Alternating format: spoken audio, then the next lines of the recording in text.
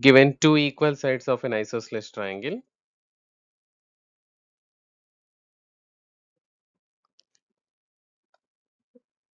seven x minus y mm, plus three is equal to zero, and x plus y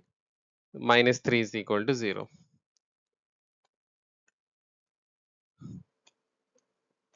And we have the property that the third side of an isosceles triangle,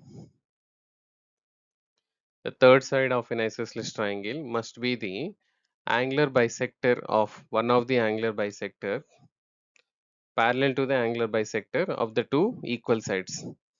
So if we can extend these two sides here, so we can find one angular bisector which is parallel to the third side.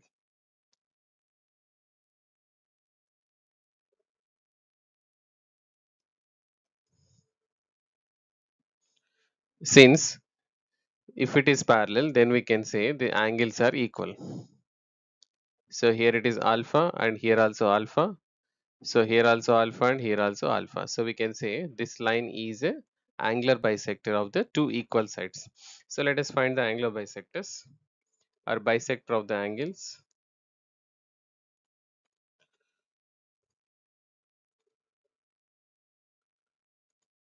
of two equal sides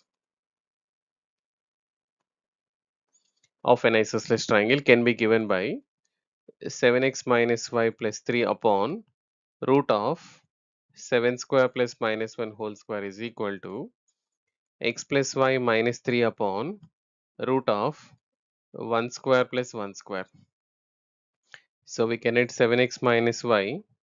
plus 3 upon under root of 49 plus 1 root 50 is equal to plus or minus we can take here x plus y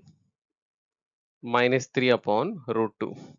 So root 50 we can write here 25 5 root 2 we can write. So we can say 7x minus y plus 3 upon 5 root 2 is equal to plus or minus x plus y minus 3 upon root 2. So we can cancel root 2 and doing cross multiplication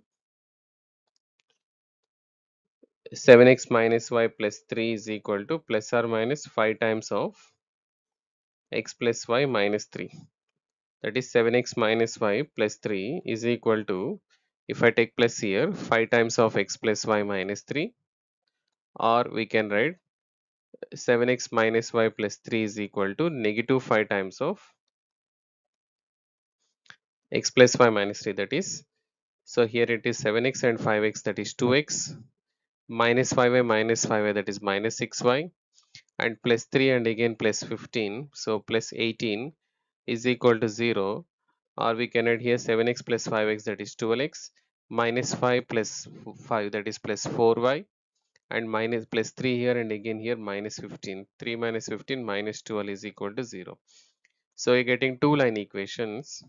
So by taking 2 common we can get x minus 3y plus 9 is equal to 0 or we can say by taking 4 common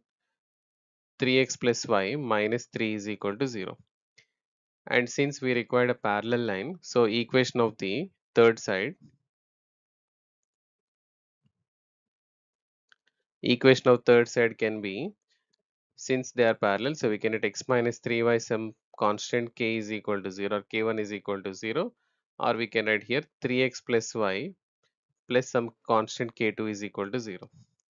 since our line is passing through 1 comma minus 10